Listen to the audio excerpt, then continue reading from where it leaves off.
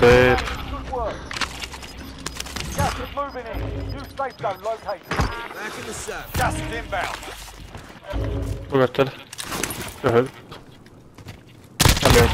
inbound.